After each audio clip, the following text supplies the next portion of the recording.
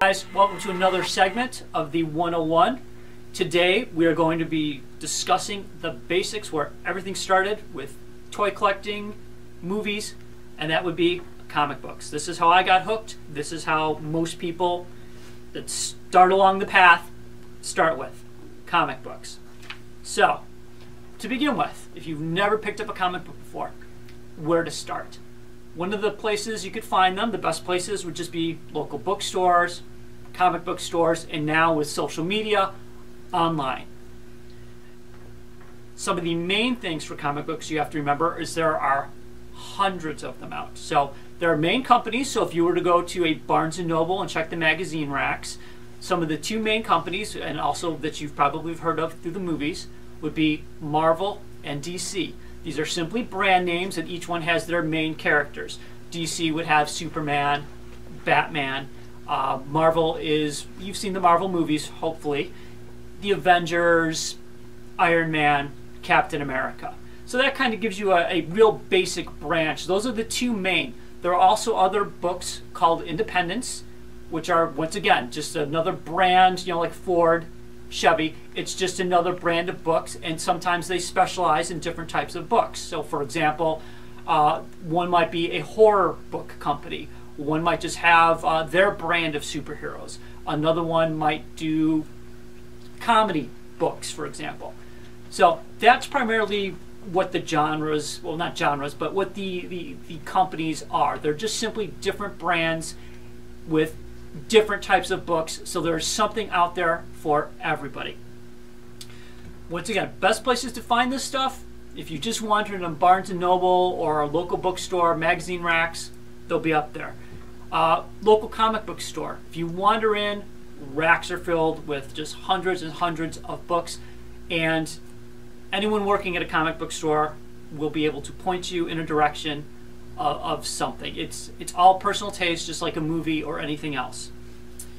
Now, people have asked me, well, you know, I've never read a comic book before, or, or uh, where do I start? There's so many titles. Where do I get started? What what's cool? Really, what's cool is what you like. If you're into comedy, I'm sure there's a book out there that someone can point to and say, here's a comedy book.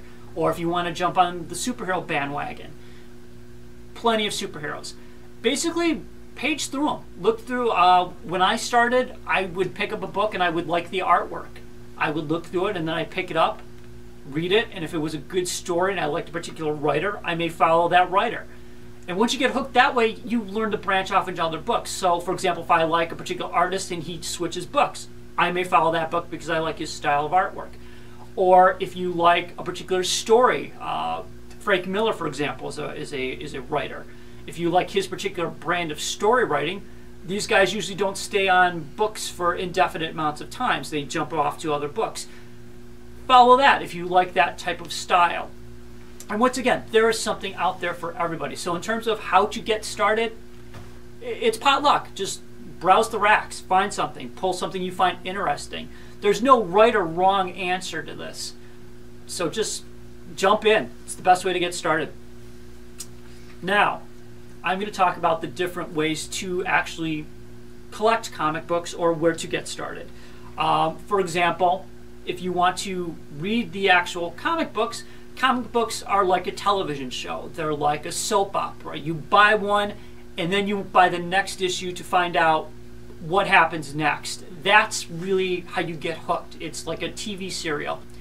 You read one issue and you want to go out and buy the next one to find out what happens next. Or there'll be one issue that maybe refers to another issue, a storyline or so-called a story arc that will branch into a another book, which you may or may not want to pick up to follow that particular story. So that's a that's kind of the appeal of a comic book, at least in my mind. You know, the, the cool artwork, the story, and you want to know what happens next.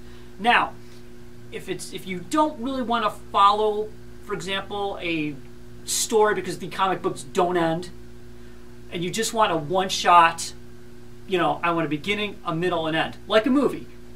Well, they have something for that. That would be a graphic novel. So here's an example of a graphic novel. Now what this is, is it's a collection of a group of comic books that cover a story arc. So rather than if you don't want to collect the comic books uh, for whatever reason, you don't want to wait till the next issue. These usually come out a year later than a particular storyline, and you pick them up and you can read them in one night. Sometimes there are multiple of these if there's a huge story arc that will carry over, so it may be several graphic novels. So the way that this works is it's the main book with all, with hopefully just one story, sometimes more. So this is what a, these generally look like, and you can see it's all the pages and everything from a regular comic book on the inside. So these would be the actual issues. And then the synopsis on the back, so you could actually you know pull them off the rack and see if it's something that interests you. And then on the spine, it tells the, the title. And sometimes there's numbers. So if there's a whole series, sometimes there's a whole series of these for the Avengers, for example, or there's multiple story arcs within. Um, you know, you could go one, two, three, and that would be listed on the spine. So that's another way to collect comic books that if you don't actually want to continuously collect the books. So that's a real good option. Now, the other option that you can do, which is now with digital media, is once again, so you don't even have to leave the house. You have them now that you can download on your computer. So you could download a digital comic to either your computer or whatever reader you happen to have, and it's the same thing as the actual book, only in a digital form, obviously. Unfortunately, they cost the same price, so you're not saving any money on them, but you don't have to store them or anything else with them, so they don't take up much space. And once again, it's the same thing as actually picking up the comic book. So you can just kind of cruise through the pages, just like so. Double tap on them to, for zooming in, zooming out. Same thing as collecting a comic book, as the difference being, once again, it's on a digital format, so it's easier to store and sometimes read, and more convenient just to download it. So there's that. Now, when you're considering all of this, what you're thinking is, well, why would I get a digital media? Why would I want the um, graphic novel as opposed to a regular comic book? This is where things get a little tricky and depending on what if you want to how you want to collect. That's really what it comes down to. If you just want to read pick them up follow the issues uh, not use a lot of space digital media is great. It, you could just sit down read them one night easy to get to no problem. If you don't mind waiting or you just want to test the waters with a whole storyline and see what you like graphic novels are perfect now what a lot of collectors do uh, and the term collecting is you buy the actual hard copy. Now, going to ask yourself, well, why would you do something like that? Because sometimes, as the issues, depending on the popularity of the issue, and we'll, this is a whole nother section, but depending on the issue, when you have the physical issue, if you want to trade it, if you want to sell it, you have the physical issue. And if for some reason a movie comes out that becomes a huge blockbuster, uh, or a character is introduced that everybody wants to fall on the bandwagon, and it it makes a movie and launches a bunch of other books. That's where the the collecting the actual issue comes up because then a value is attached to that. Because everyone wants to as a collector people want that. Comic book collectors want the original issue. They want the hard copy that's where that falls in. So when you pick up a book, having a physical issue, having the physical issue, that's the the trade-off for that is you have to find somewhere to take care of them and somewhere to store them. Um, and, and, depending what why you're collecting it, obviously, if, if I'll st- I'll say this now and I'm going to state it later, but whatever book that you buy, collect because you enjoy it if you are collecting for value it, for a comic book, it's it's it's a crapshoot. Do not go into this thinking I'm going to buy every issue on the shelf and make money on this. There are so many factors that determine an actual physical wealth of a book. Buy something you like, and if something happens to be movie made, or happens to spawn, or happens to shoot up in value for whatever reasons and you decide to sell that issue, that's great. That's a bonus for you. But overall, buy something you like. That, that's I can't stress that enough.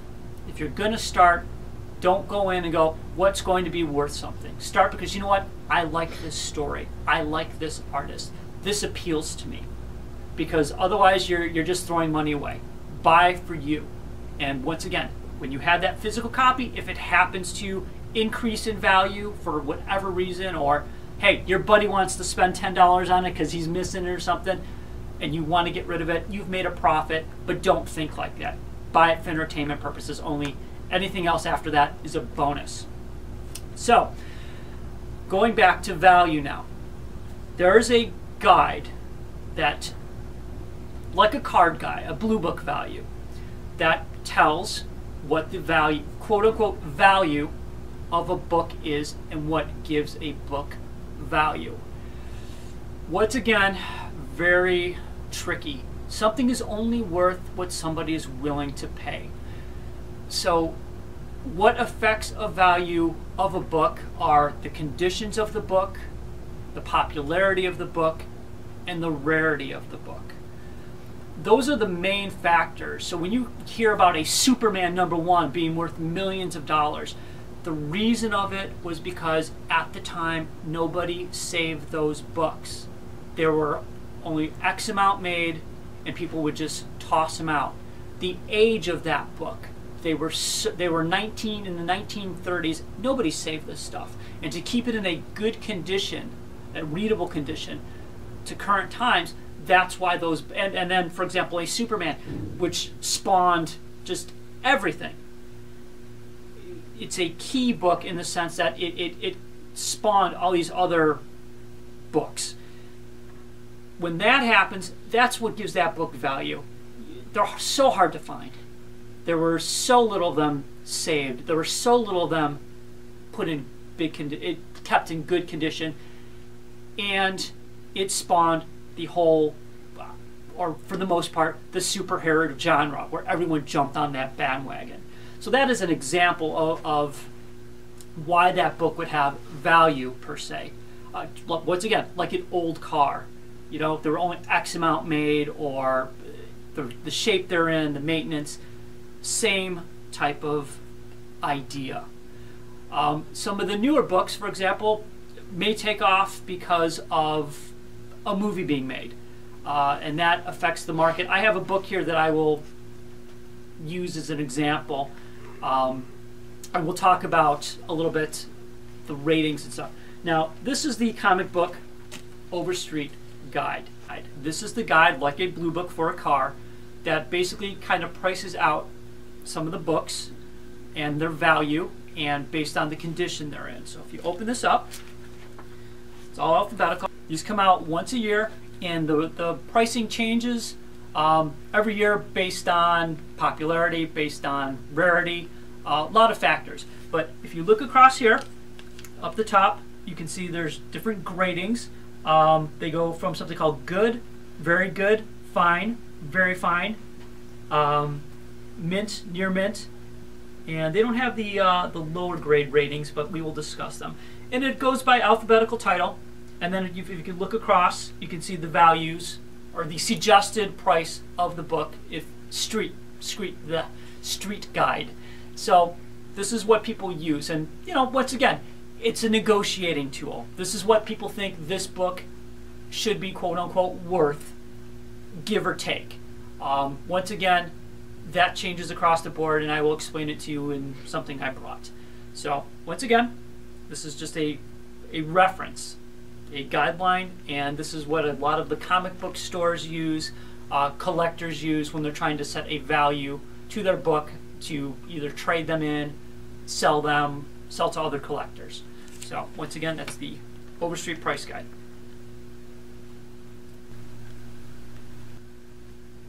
So that was the Overstreet price guide.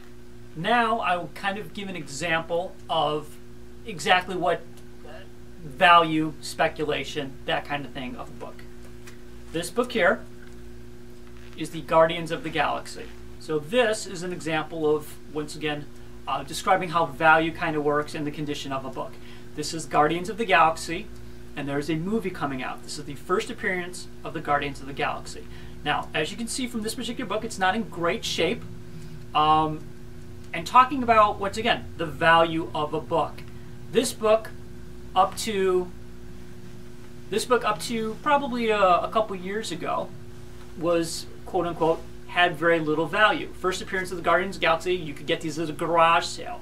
It was a $10 book in very good shape, tops.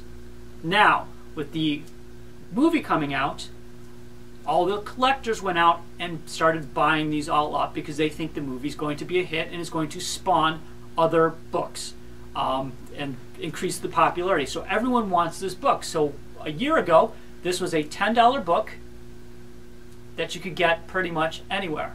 This is a bad copy or a, a an average copy book currently that I paid uh, about 60 $65 for. Okay? That, once again, a year ago would have been no problem. So that is an example of value and speculation on how these books uh, gain or don't gain value. Uh, it is not a rare book, so you don't have that going for it. It's simply the speculation of the movie becoming successful and this book becoming harder to find because all the collectors have picked it up. So, and as you can see, it's not in great shape. Uh, so I will talk about the shape, and that also affects the value. I paid $60 for this book. There are some of these going for whatever reason, uh, a $300 book because of the condition of the book. So I'll have Junior step around, and he can explain kind of the how the grading system works and uh, how the value of a, how the condition of a book will affect the value. So come on over, Junior. Come on over to the dark side. Come on side. over to the dark side. So, would you like to explain uh, how the grading system works and how that would work in the condition of a book? No, Please do. no. Please do it. There you go, sir. My show now. Go to town. Here you go, sir. Thank you, sir. Don't touch me again. So, as Cary mentioned, he's got a copy of uh, Guardians of the Galaxy here. Actually, it's I gotta correct you. on that. It's Marvel Superheroes Presents. First appearance of Guardians. Yeah, My- first my- appearance. I stand corrected. Yes. So, I mean, like he said, he pretty much nailed it when he said the condition is everything, and it really does determine the price of the book. Uh, it also depends on the dealer, because there are some people out there who just they'll because of the name and like you said, what you mentioned with the uh, the movie coming out, they'll just jack the price up. If so, it's it goes back to that whole saying: if somebody wants it bad enough, they'll pay. Exactly. But from what I see, I mean, I'm not a professional grader myself, but you got a great copy here. Um, you've got some. You mind if I take it out? No, absolutely. Now, here, this I want to point this out before I take it out. Some people tape the bags. I personally do. I love it. Keeps I- them in stock. It I, keep- I, I do not. I usually tuck the bag underneath, but I didn't do that for that one yet. So some people, there's two ways to go about this. Uh, even the greatest make mistakes. I've done it before, but since this is not my book, I will not. Uh, I'll do it the other way. Uh, I can sometimes keep the tape on the bag and slide the book out, but you always risk the fact that you might Get get, hooked. The, yeah. So there, what some people do here, and you've got the right tape for it. You've got to use Scotch tape. You don't want the clear tape, or yeah, like what is the regular tape? Scotch. Scotch, right? What? Not this one. This is the white Masking tape. tape. This is masking tape. Yeah. What you want is mask. I don't know my tape. I just know what it looks like. Uh, you want something like this, obviously without the fingerprints. Um, it really comes off the bag very easily, but it also seals the bag pretty good as well. Uh, most people, you would want to take the tape off before you take the bag out, just or the book out, excuse me, just to be on the safe side. Slide it out carefully. Now, as you can see, this book on the top spine here, it's actually got some tape on it, keeping it together, which is not fairly uncommon in a lot of older books, like like you mentioned earlier, the Superman book. A lot of books like that, you would see taping, heavy. Yes, it does affect the grade, and it actually does lower the grade some. Um, you've got a hole here. You see pieces of the cover missing, some slight spine ripping, and more tape holding the bottom of the spine there. Uh, it has a slight spine roll, and what a spine roll is is when you kind of see what's supposed to be printed directly on the side, kind of rolling over to either the front or the back direction. It's got a couple creases here on the bottom. Nothing too bad, at least in my opinion. I mean, yes, of course, it does drive down value, but for a book like this, you've got one in great condition. It's even got that new comic smell. As you can see, it was still stapled in the inside as well as being bound. pages are off white to cream, which isn't bad. The yellower they are, the, the worse off. But it's all, like I said, it's got the tape here so you could kind of see. One thing you really want to do, it's going to be kind of hard for me to do this upside down, but you never want to open a comic book all the way, you know. Uh, the farther you open it, the more stress lines it'll give you on the spine of the book. So you, what you kind of want to do is hold your fingers in there. What I personally do when I read a book is I'm going to turn this upside down so I can demonstrate to Cary. Uh, I would take the bag if it's bag and board. I take the bag and board in my hand like this. Take the book and lay the front cover on the bag and board. And just, just to brace the spine. Yeah, and you see how I kind of have it. Also, what it does is the dirt and the oil on my hands does not affect the cover now so you don't get the smudges. It whatever's on there stays on the bag, so the cover is absolutely fine. You see that? And then I just kind of keep the book with that slight spine roll there on the back. Never enough to pierce the page, but just kind of flip through it like this. Another better way to do that, I mean that's just me personally, I don't know how many other people do that. Another better way is to actually just lay the book flat, because as you lay it flat, the spine, the, or excuse me, the it's cover. It's a natural curve. exactly, and you, it's no crease to it. Some people will sit there and they flatten the book out. You don't want to do that the more the more times you open the cover, the more stress lines it'll create. So you never ever want to do that. Um, as Cary mentioned, the condition does factor in. Now, Overstreet does put out a separate guide to grading comic books, and they're very strict with it. I mean, you have to be. But if you're somebody like Cary who appreciates the book, excuse me, strictly for the story purposes, you can't go any wrong with this. You know, this is this is fine. The cover's not falling off. You know, pages aren't torn or missing. This is almost the best you can get for a book like this. You know, I mean, yes, you can get better, but then you're going to be paying more money. Keep that in mind, especially with a book like this that's coming out and there's a movie announced. More buzz around it. It's just the way it is. And I'll, I'll jump in real quick. The kind of stuff that I collect is something called reader's copy. What that means is these are books strictly for my personal collection. They're not very expensive books for the most part. There's a couple that cost me a little bit, but they're easier to find because they're not in great shape, and I, I'm not buying them strictly to resell them. Reader's copies are real good for stuff like that. If you're just starting out, and you go, you know what, I want some of the classic books. Reader copies are fine. If you just want to put them up on a wall and display them, which I have at my place, and they look great, this kind of book is fine. They're relatively um, reasonably cost for once again based on whatever book it is. Right. Um, but a reader's copy for for me personally is great because I'm not looking to turn around and make a profit on them. That's kind of when you start getting into the the higher grade mm-hmm. books. So here's an example of something I just pulled off the shelf, but Junior could explain the difference between that book that's a little beat up compared to something that's in better shape. So there's something right there. Well, this bag, being that it's not taped, is a lot easier. but you slide the book out, and as you can see, most books ship at least in a 9-4 condition. A 9-4 is what passes for near mint nowadays. Uh, near mint, obviously, what you want is a solid 10, which is totally gem mint, but those, let's face it, are few and far between. So a 9-4 is considered pretty good. Uh, now, 9.6 is even better. Now, when you nine, start saying the nine, the 9.4s and 9.6s, mm-hmm what specifically that means. The rating system, I think, goes from what zero to zero to ten, zero, zero to ten, and it so, goes by fives until you get to nine. So once you get to the nines, it goes by twos. Okay, so so once again, it's um it's you know it, it's like five star, four star, three star, yeah, that kind of thing. So when you hear us talking those numbers, that's what that means. The lower the scale, the more beat up the book. Correct. And there are things listed in the Overstreet that say, hey, if it's missing the cover, it's worth this. If it's if it's you know in great shape, that would be upper the nines, eights. Readers copies are usually what around threes, twos, threes. Reader copies, uh, it all Depending, varies. Right. It all varies. See, and that's the thing. Unless you work for CGC, man, uh, with the grading, there might be something they say, hey, you know. And he's CGC is a company that their business is to grade comic books. Um, what they do is they will actually have someone they consider a professional grader uh, in the industry, and they will say this book is worth X amount. They will seal that book and they will put the number on it. So this way, you have there's no dispute over the book in terms of guide. Once again, everything's being relative. But if you take that book to another collector and it's stamped with CGC and it says it's rated 2.5 based on the guide, it's that's how how would you describe it? That's that's, that- solid. yeah, that's like the official, the last word. But I actually got to correct you on Sure. something. When they do CGC, the Comics Guaranty Corporation, they have three graders Okay. per book, so that way the grade is unbiased. What they'll do is pass the book off to the first guy. He looks it over, he assigns it a grade, and puts it into the computer.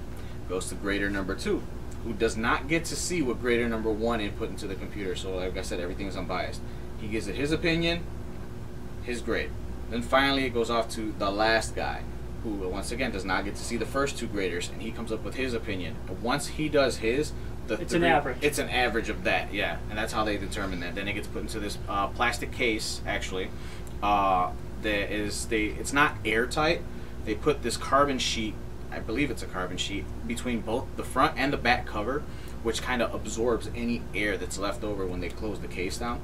And in the corner is assigned the grade, the average grade and CGC is pretty much the final word. So it's debatable. Like if I Cary wanted to buy this book off me, I says Cary, this is a nine four, and he looks at it and he says, Well, I see a nick here on the corner. I'm going to put that at a nine two. CGC is the guys that come in and say, You know what? No, this is what it is. So there's no debate about it.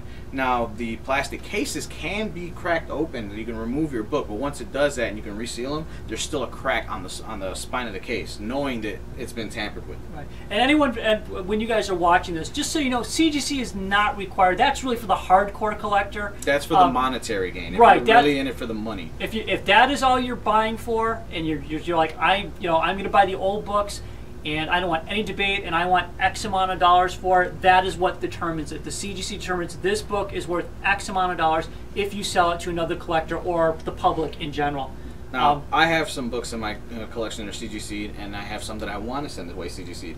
For me, it's not the financial ver- reason why I do the CGC.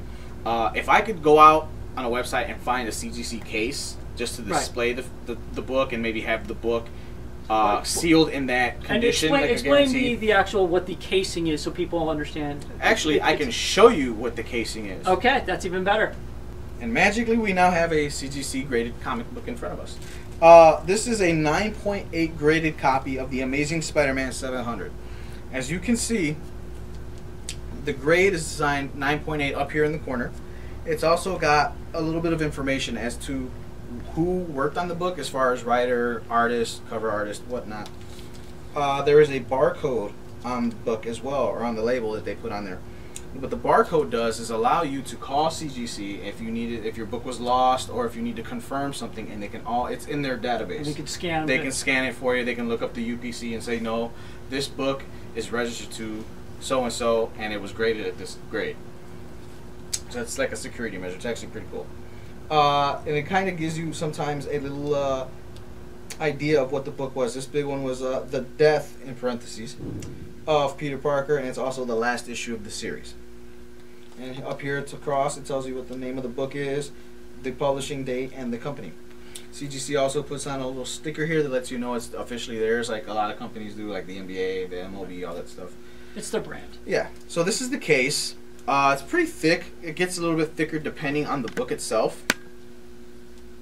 You can see that, and then it's clear all the way around. This specific copy has a certificate with it because of the book. This book was purchased directly from Dynamic Forces as a graded book already. So the certificate is basically just telling the buyer that, hey, this book came directly from CGC, but you're buying it through Dynamic Forces. But normally, they won't have the certificate here, so you're okay.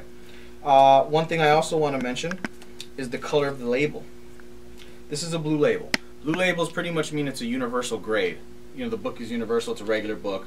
Uh, there are different color labels, if I'm correct.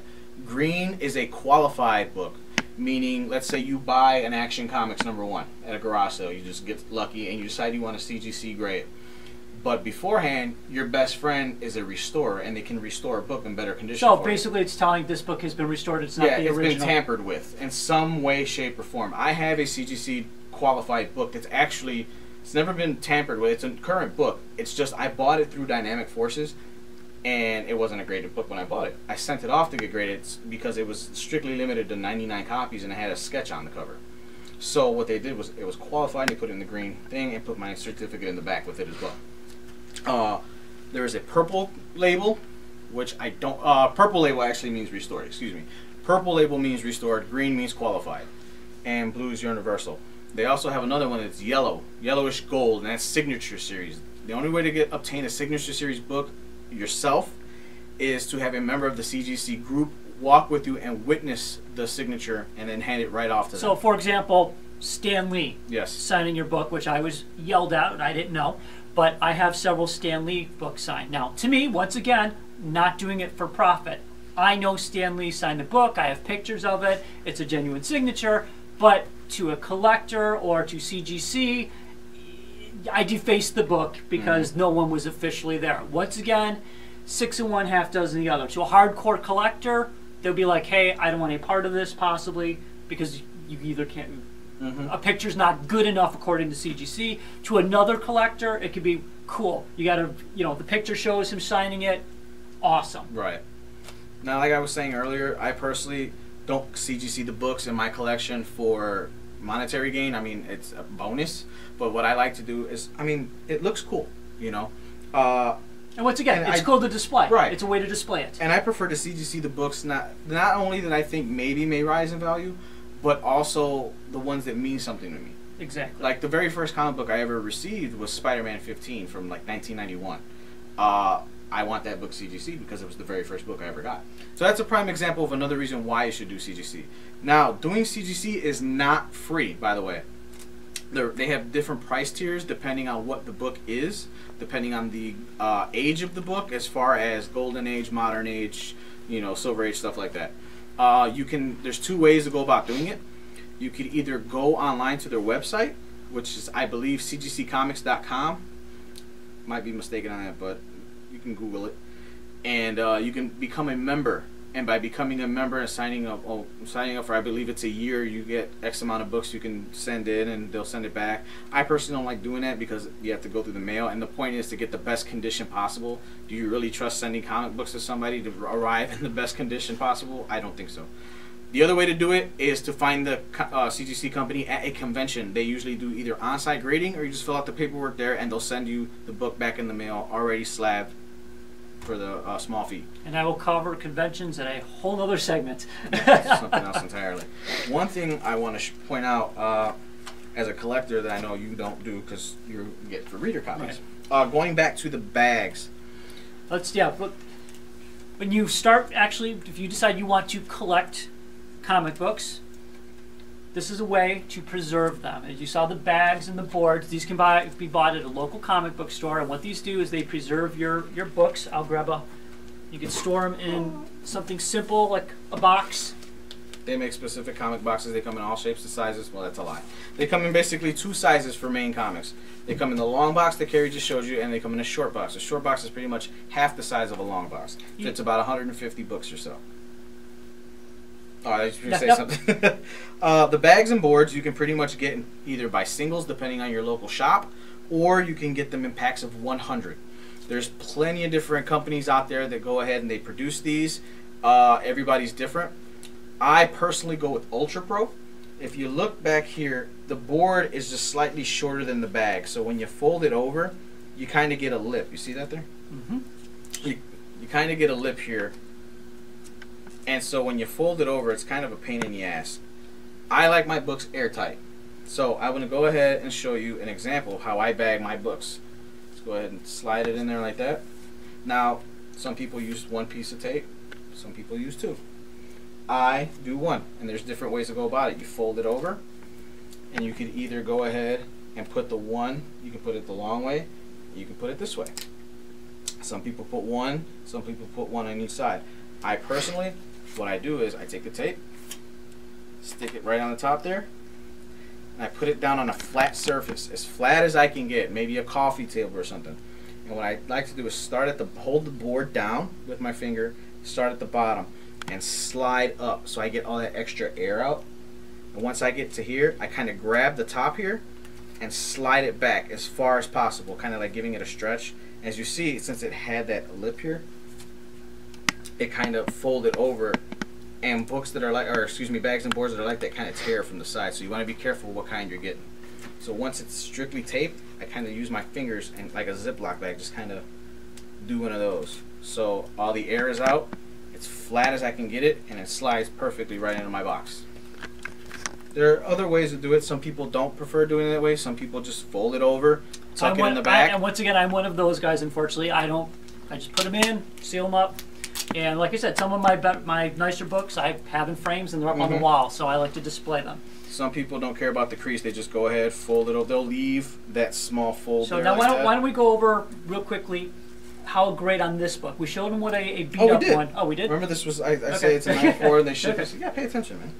So that's pretty much that as far as condition goes. I'm gonna go ahead and take Cary's book back up. um, you can find now bags and boards are not sold at places like Barnes and Noble and places like they're only available either online or through your local comic book store. So that is de- definitely a way to preserve your books first and foremost. But the most important way to preserve your books climate control. You do not want them near sunlight very often because the sunlight will fade the color. And for people who, I'll jump in real quick. If you put them in your basement, no, there's leaking in your basement. Not all the time. Well, my collection was stored uh, in my mother's basement for yeah. years. okay. Well, Um, it all depends on the basement. Well, you know, it all right. depends. Uh, what you want to do, cold, dark, not necessarily damp. You don't want damp. Anywhere, just kind of keep them at room temperature. If you can keep them at room temperature, you'll be fine. You know, obviously stay away from water because it's paper. You don't got to be a genius to know that. Um, that's pretty much your thing. You want them at room temperature. You don't want them too hot. You don't want them too cold. Uh, the darker the better, just because the darker it's cooler. You know, you don't have to worry about UV lights or sunlight or anything like that affecting how your uh, the condition of your books. now what what we also need to discuss, I forgot real quick. Mhm. There are different time periods for comic books. And based on the, the time period that the book was produced, there are different size bags and boards. Mm-hmm. So, an ex- the example of the, the time periods it's would be something called uh, Golden Age. Golden Age. Golden Age, which are Superman books, Batman books. These are your older books from 1930s to roughly what 1950s, 19. Uh, yeah, just about 1950, 1962. You can get gold or well, 61. Golden Age books range from anywhere between 1937 or, or actually older than that to 1961. They're usually a little bit taller than modern books. It's just they're a little they're a lot wider. They're almost magazine size back then, especially in the 30s. So that is the that is the time period for those particular books. Then there's the Silver Age books. Now you'll hear a lot of that because a lot of the Marvel books and a lot of the books that are becoming popular, where there is a um, resurgence of popularity in the comic book industry, would be something called the Silver Age. That's considered the the actual age of comics. You Right. know, that's that's when it really took off. Because before that, you had the Flash, And then Superman. Lantern, Superman. Those Batman, are primarily your Golden Age books. Those were like where it began. But then once Marvel came in in 1961 and pretty much did their versions, it was competition. That's what a new age came, and it was, like we said, the Silver Age. That ran from 1961, I believe, to roughly 1979. 79. 79. or 78, 79, right around there. And then after the Silver Age comes the Bronze Age. Bronze Age is mostly the 70s book, or excuse me, late 70s, early 80s to about uh, 89, I want to say. And then and the reason why we mention this too is the bags are different sizes and the Mhm. boards are different sizes. Silver Age are different. Silver Age, they, they don't make Bronze Age bags though. They make it's golden, silver, and then it skips to modern. Because modern. most uh, Bronze Age is pretty much the same size, is either a silver or a modern. So it, it works either way depending on the book. Now the modern age are the ones that are current up to the, the peak of the what the end of the Silver Age, correct? The Silver Age up to that time period, and then you said the Bronze Modern Age starts at 19, 1988, 89, 1990. and the Bronze Age. The Bronze fit in which ones? Uh, the early 80s, late 70s. They fit which bags? Uh, they those can fit either silver Okay. or modern. It all depends on the book. So But once you get to the modern age, you want. Uh, see, some bags and boards don't label it modern. They either label it modern or they'll say current size. So, those are the best ones to get, obviously, if you're collecting stuff from uh, last maybe 15, 20 years. So that's an example on that's how to preserve your collection if once again that's the route you decide to take and you want to hold on to. Now I've talked about it, but since Junior is in the shop all the time, and the advice that I gave is collect for you. I mean, any words, No. comments on that? I think I Um, think that's really the best way to to You go. nailed it, man. Uh, at least I get I get two customers at least every weekend coming in, new to the hobby, new to the shop. never touched a comic book in their life. They don't know where to begin. Um, I always tell them, I says, first and foremost, man, get what you're comfortable with, get what you know. If you know Spider-Man, you like Spider-Man, that's your place to start. You nailed it earlier, man. Uh, it, you know, you start with your favorite character. You tend to like the story. Hey, who wrote the story? Oh, I like this guy. Let me see what else this guy has done. And it just kind of takes you from there. Same thing with the artist. Might be a cover that catches your attention. You might not. You might be new. You, I heard of Spider-Man. I heard of Superman. I don't know who I like. You walk the racks. Oh, that's a nice cover, and that's the point of covers is to catch your attention, catch your eye. You know, that's that's what sells you right away. It's like buying a car. You see a car. That car looks great. You know the car looks even better. It's like finding a mate. I, I have to take it there you don't know that person's personality right away. You see the person, that person's cute. I want to talk to that person, and you get to know them later. Same thing with a comic book. You see the cover, I like the cover. Let me get to know what's on the inside. That was a damn good analogy, Junior. Bravo. Thank you. Bravo. And and once again, I will I will bring it up because I hear it constantly. I know I'm beating it to death. I gotta throw this in before I forget. Go ahead. Collect what you can afford do not break the bank trying to get every single book. I'm trying to trying to get rich. Yeah, Try- especially that. I mean, I mean, like you said, if you're gonna collect, there's different reasons to collect. That's your personal thing. But don't try to break your bank. Trying, oh, you're falling behind on the rent or a car payment or child support, whatever have you. You don't want to do that. The books, the way I look at it, it- it's hard for me. I, I look at it this way. Well, my reader copies are a perfect example. Yeah, but I, I mean, I look at it this way, and it bugs me because I, I love this motto, but I can't live by it.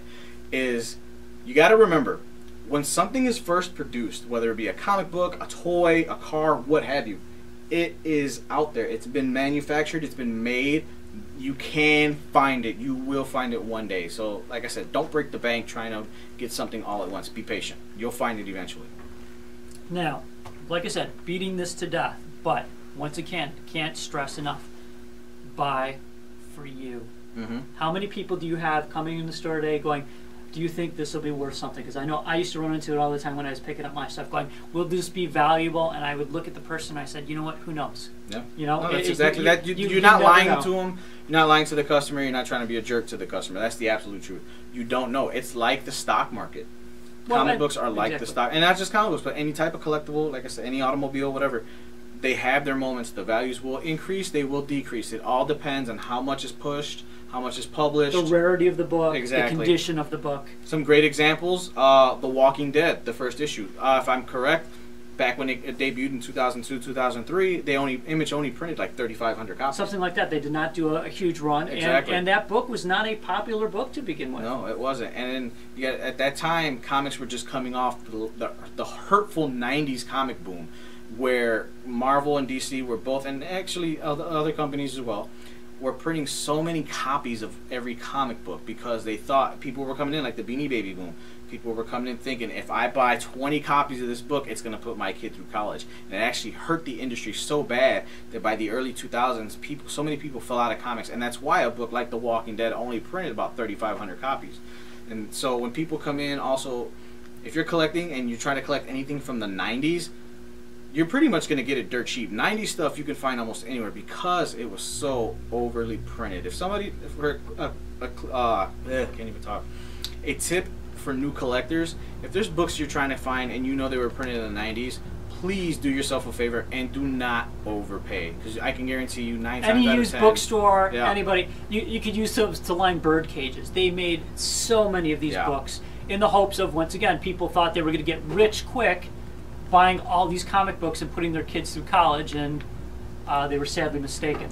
One other thing I, uh, I wanted to mention, you brought up the Overstreet Price Guide, which is published once a year, but a lot of people like up to the minute things. And since Wizard Magazine, which used to put out a price guide every month, is no longer around, Overstreet is the only physical guide you can use. A lot of people turn to the internet because, like you said, a book is only worth what someone is willing to pay. The best way to find out your current average value, in my opinion, is you use eBay. What you want to do is search the book under completed auctions, not buy it nows. And you see what's sold, and you can kind of see what it sold for, and it gives you an average. Okay, that's about the average price my book is selling for. That's how you determine the value, and that's if you need it right away.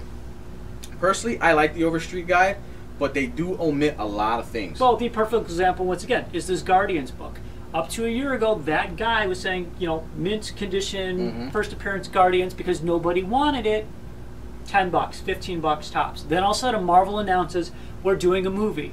So now the market changes because all the collectors think it's going to be a hit. They go out, they buy all the books, they jack the prices up. Now it's a harder to find book, and they've cornered the market because they bought a bunch of them and they control the pricing, which in turn, Overstreet goes, well, now this book is worth this because of what the collectors have done. So it's a very, But the like you said, the stock market. The unfortunate thing is, like we said, Overstreet is only printed once a year. So, I mean, a lot could happen to the value of a book in that one year. You know, they could announce the movie, the Guardians move, the book shoot up a couple hundred bucks, but then what if something happens all of a sudden? They cancel production, Marvel goes bankrupt or something. All The, of a so the movie bombs. Yeah, the movie bombs, the books will go down, but you still have that one price guide from that hasn't released a new one yet. So your book is still saying that it's a couple hundred bucks. You see what I'm saying? So a lot of times eBay is your best bet for on the market thing. Personally, when I buy the I buy the Overstreet once every five years. I I can't don't- even tell you the last time I bought an Overstreet. I don't like to continuously buy it, but I use it as a checklist. Mainly, I mean, yeah, you can use Wiki and all this other stuff, but I'm an old-fashioned guy. I used to love having Wizard right there to reference stuff. I like having the Overstreet Guide when I need to reference stuff. Nine times out of ten, like I said, they don't print everything in there. I mean, with books coming out with so many variant covers, And not, and not only that, but also too, as I showed you earlier, in Overstreet. Overstreet is guided towards the main collector, so it cuts off at a at like at a five zero or something like that. They don't take into account a lot of the people that just buy readers' copies. Correct. So that's when the market gets kind of weird, and you kind of have to once again eBay it or Mhm. guesstimate it because a lot of people who are already using Overstreet they're looking for pristine, higher grade books as opposed to someone like myself that just wants to have the book, just wants to display it. A lower grade is okay for me. And then at that point, I'm thinking, how much can, like Junior said, how much is it worth to me? How much am Right. I willing to pay, just like bidding on eBay, to have that particular book in my collection? Um, the only thing we really didn't cover, which we can actually save for another time, is uh, the types of books out there, like variant covers and all these other items like Right. that. You know, I, I, I know they exist, it's just not something that I normally purchase. Um, basically, well, if- you might as well cover it now. yeah, basically what a variant cover is is what it says. Someone they do a bunch of different covers that and they charge sometimes more, sometimes less to either get you to buy more of the books or buy get you to buy a more expensive book because they've got a different type of artwork that may appeal to you more than a Mhm. normal book. Most variant covers are usually in a 50-50 ratio, meaning if your store orders 50 copies, 25 of them will be cover A, 25 of them will be cover B. And the only reason they do this is the companies want to spotlight their different artists and obviously make an extra buck for those people who are completionist or completists. You know, say I have to have every copy of the book. They're going to buy both covers, so they just double their profit on that. Uh, there are also what they call retail incentives. Now, in order for to receive a retail incentive, di- that's that's you really don't know the ratio on them. It's usually between Diamond and then that retailer. Sometimes previews will list the ratio depending on the book. And what just if you're still watching this, just you know, we're going a little beyond the basics, but just so you have an understanding of why What- they're yeah, out there. and what it is. Uh, basically, a good example is uh, DC puts out a lot of 1 in 25 variants. Now, what that means is for every 25 copies of the book that the store orders, they're eligible to either order one of the variants or receive it for free. When, when that happens, it's all the, the price of that book uh, to be purchased is determined by the store. Some people don't care and they order 25 anyway and they get the bonus. You know, they feel that the variant is just a bonus anyhow, so they'll put it out at cover price. Some people see what people are asking for it on eBay and they decide, you know, I'm going to base it off of that. It all varies, but that's what a variant copy is. The insides are usually exactly the same. Almost 99.9% of the time are exactly the same inside, just a completely different cover with a lower print ratio, making it more valuable.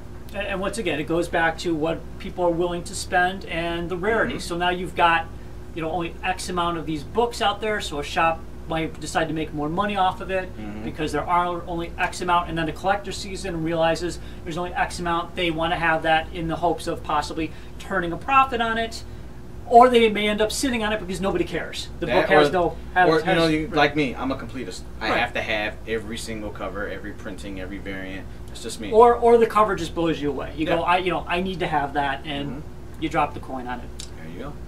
So, So I will let you have your show back. Oh, but thank I- you very I much. I think you pretty much covered it. I think we're. I, actually, I think we could uh, probably uh, close it I'll out. see you guys on Comics Remix. So that was another segment of the 101, and Junior, appreciate the help. Yep. So hopefully you are informed. Hopefully we can get you on the bandwagon of collecting comic books. Uh, next issue, we'll see what uh, pops into mind. I'm thinking maybe either toy collecting or cosplay. So I'm Cary from the 101, also from Comics Remixed. So thank you for watching, and if you have any questions, please feel free to contact us, and hopefully you will jump on the bandwagon with us. You can find us at comicsremix.com, on Facebook, and on yeah and um, YouTube. We have our interviews and other cool stuff up on YouTube. Just Comics Remix. So, thank you very much. Hope you enjoyed the show, and we'll be back in a whenever we're back. Thanks, guys. Enjoy. Stay geeky, my friends.